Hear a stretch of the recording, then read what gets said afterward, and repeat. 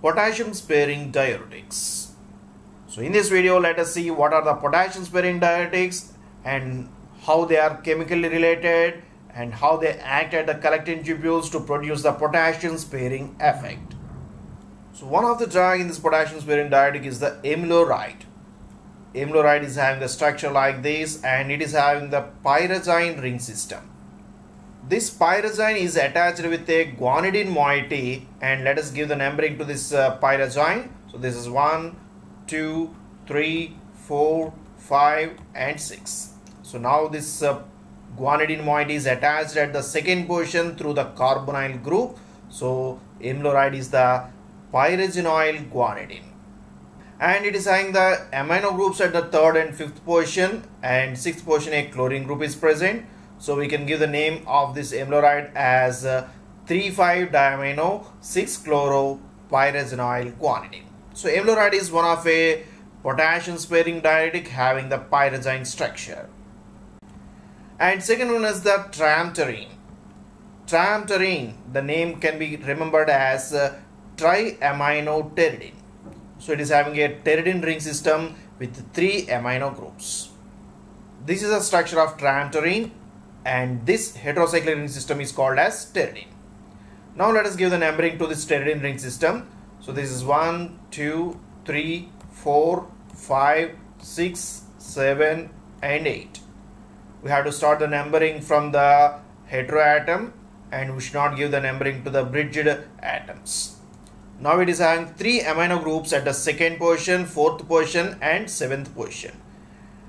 And it is also having a phenyl group at the sixth position. So the name of this triamterene is the 247 triamino 6-phenyl pteridine. So triamterene is a triamino pteridine with the three amino groups at the second, fourth and seventh positions. Third structure is a spironolactone. So spironolactone is having the steroidal ring system and it is a steroidal lactone with a pyridine nucleus. So it is a pyridine nucleus with a lactone ring system which is attached by a spiro linkage. And the metabolite of the spironolactone is a canrenone which is also pharmacologically active and we can observe this the structure of this canrenone which is not having a thiol group at the sixth position instead it is having a double bond. So canrenone is a metabolite of the spironolactone. the related structure is the eplerenone. Eplerenone is again is having the steroidal nucleus along with a lactone, but it is having the two modifications. It is having an epoxide ring. So this epoxide ring is going to differ with the structure of the spironolactone as well as also having the methyl ester group at the sixth position. So spironolactone is having the acyl thiol group, so but here it is having the methyl ester group at the sixth position. This drug differs with the spironolactone in the fact that this drug is having the less affinity towards the steroid receptors. So gynecomastia and menstrual disorders are less pronounced with the eplerenone. Now let us see how these potassium sparing diuretics are going to act. In the structure of the nephron, diuretics act at the different positions. The, the first one is the PCT, proximal convoluted tubule, and second one is the loop of Henle, third one is the distal tubule, and fourth one is the collecting tubules. At most of the parts, including the loop of Henle, the, sodium is going to be reabsorbed from the lumen through the pumps where the sodium can enter into the systemic circulation. But at the collecting tubules, the mechanism is different. So what is responsible for the absorption of the sodium at the collecting tubules? So at the ascending loop of Henle, we can observe one of the pump is present on the inner membrane of the lumen. So this is the sodium potassium 2 chloride exchange pump through which the sodium can be reabsorbed along with the potassium and 2 chloride. And at the basolateral membrane, another pump is present sodium potassium ATPase pump which always uh, transport the sodium out of this uh, renal membrane into the systemic circulation. So at the ascending loop of Henle, loop diuretics are going to act. What happens at the distal tubule? At the distal tubule, again, similar pump is present that is the sodium chloride exchange pump. So this pump is responsible for the absorption of the sodium along with the chloride. So at the distal tubule, the thiazide diuretics are going to inhibit this pump. In this way, loop diuretics and thiazide are going to act at the loop of Henle and distal tubule respectively, thereby they inhibit the absorption of the sodium by inhibiting the respective pumps.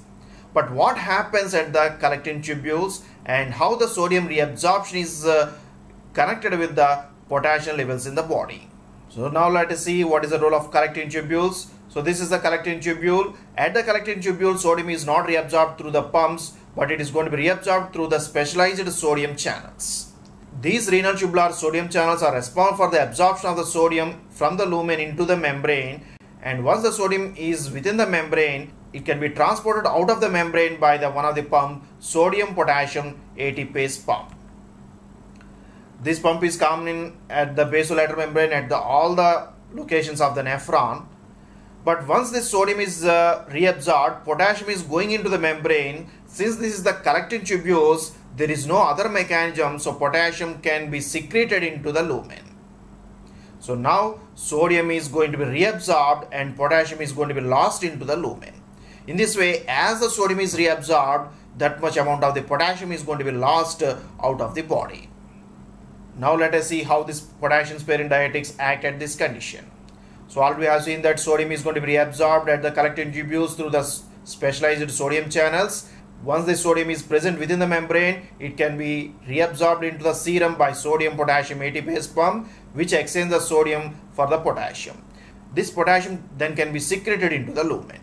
But this process is going to be controlled by one of the hormone aldosterone. Aldosterone acts on the mineralocorticoid receptors and the aldosterone can bind to these mineralocorticoid receptors then it will express the number of the sodium channels on the apical membrane of the collecting tubules. In this way, aldosterone can increase the number of sodium channels, thereby it can promote the sodium absorption. As the sodium is reabsorbed, potassium is more secreted into the lumen, resulting in the loss of potassium from the body. Now, potassium sparing diuretics can act at the collecting tubules in two ways. Drugs like amiloride and triamterene, they can act as a sodium channel blockers. So these drugs can directly block the sodium channels, thereby the sodium is not going to be reabsorbed. On the other hand, drugs like the spironolactone and eplerenone can act as an antagonist at the aldosterone receptors, thereby they can inhibit the binding of the aldosterone to the mineralocorticoid receptors. In this way, these two drugs are going to decrease the expression of the sodium channels, thereby sodium reabsorption is going to be inhibited. In this way, potassium sparing diuretics can act as either sodium channel blockers, otherwise they can also act as a aldosterone antagonist. Even they differ in their mechanism, their pharmacological actions are somewhat similar. Now let us see the pharmacological actions. These diuretics are going to increase the excretion of the few of the important ions. For example, they can increase the excretion of the sodium resulting in the hyponatremia.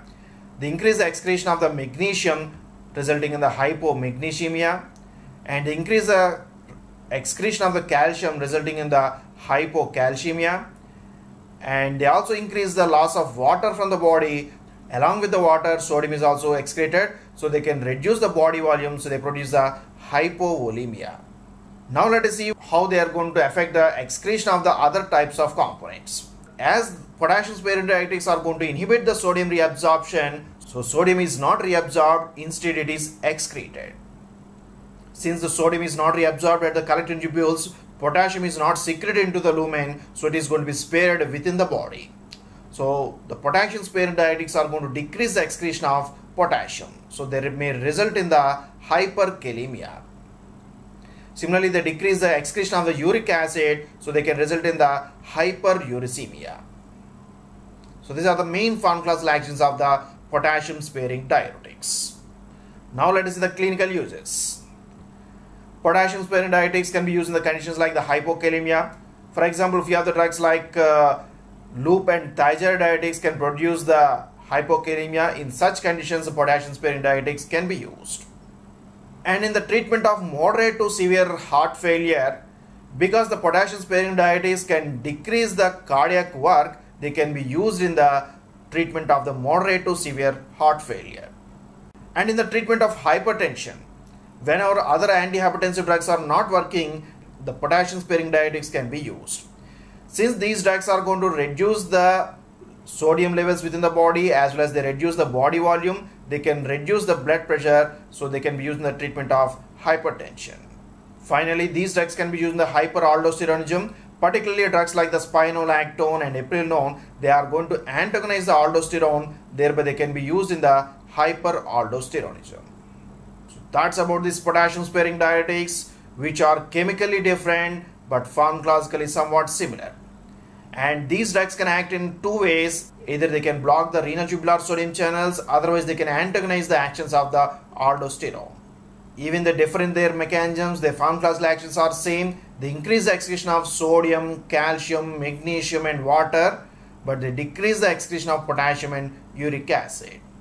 Since they are going to spare the potassium, they can be used in the condition like the hypokalemia as well as they can be used in the treatment of heart failure and hypertension. And due to the antagonizing effect on the aldosterone, they can also be used in the hyperaldosteronism.